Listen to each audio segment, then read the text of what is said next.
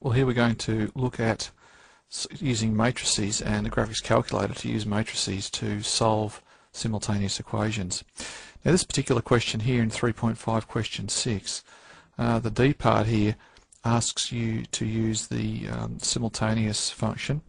Um, however, we're first of all going to do it using the rref and then there'll be a second uh, video on using the simult feature. So using the rref feature, we need to put a matrices in a matrix into the calculator. We need to do it in a particular way and then use the calculator to solve it. So the matrix in this question here, uh, we've already completed this matrix. You'll need to look through this if you're not sure how to do that. But the matrix represents the simultaneous equations here. So we have these three simultaneous equations.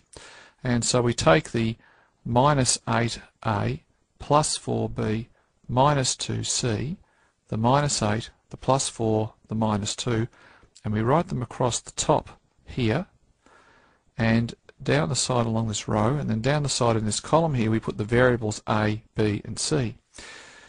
And then in this matrix here we have the answers. So what this represents then is just that equation there minus 8a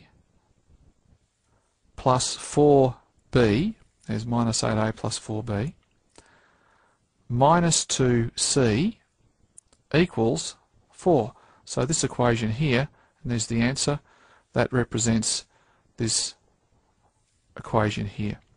The next one is minus 1, because it's minus 1a, minus 1, 1b, and minus 1c. Minus 1a plus b minus c. There's that, and it equals minus 1, and there it is.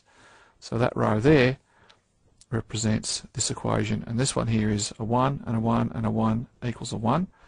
They're the coefficients, so it's 1a, 1 by a, plus 1b plus 1c, and that equals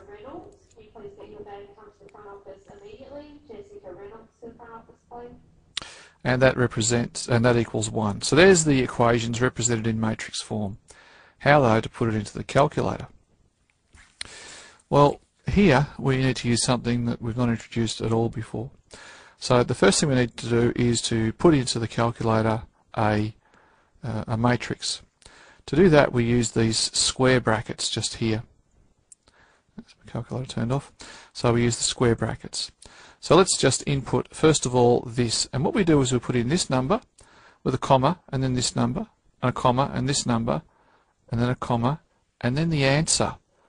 So we'll end up with a row with these four numbers in it and that's understood to be uh, associated with these variables. The calculator just understands that there'll be three variables if we put three rows in. So let's just do that now. So second function, oh, we have to put a square bracket around the whole thing. So we need for the first one to put two square brackets uh, and then we put the number minus 8 comma 4 comma minus 2 now that's these numbers here. Now we need to put the answer comma 4 and then close the square bracket. Now the next one here.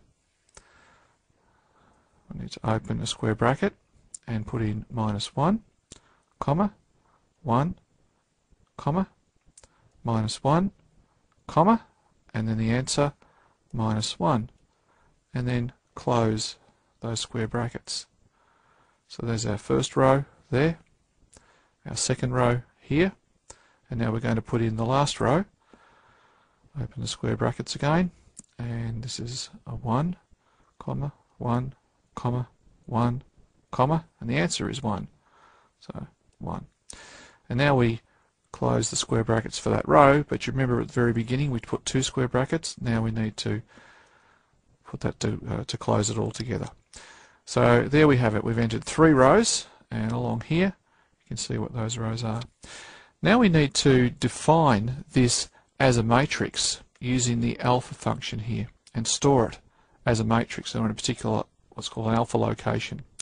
So to do that we press the store button and that puts that arrow there and then alpha, and I'm just going to use A. I could use any of the letters I like, but I don't think I've got anything else stored, so if I use A, and then enter, and you'll notice this has now stored this matrix just like we said. So there's the minus 8, 4, minus 2, 4, minus 8, 4, minus 2, 4, and all those rows are there.